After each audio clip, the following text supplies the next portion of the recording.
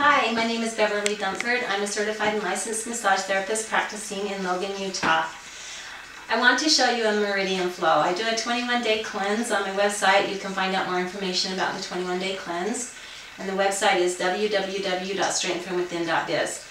We do a meridian flow each day of the cleanse, and this is a really good way to activate the different meridians. There's 11 different meridians, and they're associated with all the different organs. So I'm just going to show you a demonstration of it, and then I have written instructions on the more information on the YouTube and on my website. So lung, lung, large intestine,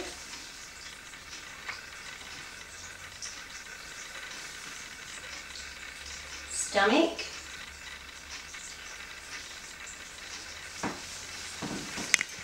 and spleen. Heart.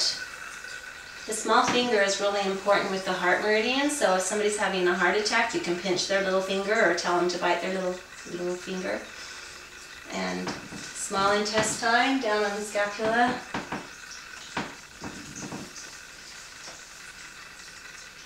Urinary bladder is up, and then you just kind of take off where you left off.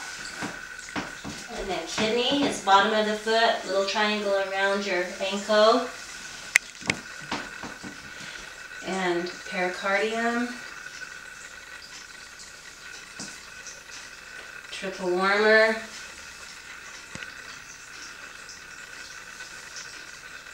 Gallbladder, Spockier, and liver. To activate the governing and conception vessels, you can just stimulate these points. One runs from here to here, and the other one runs from here around to there. But just going like this is a good way to stimulate those.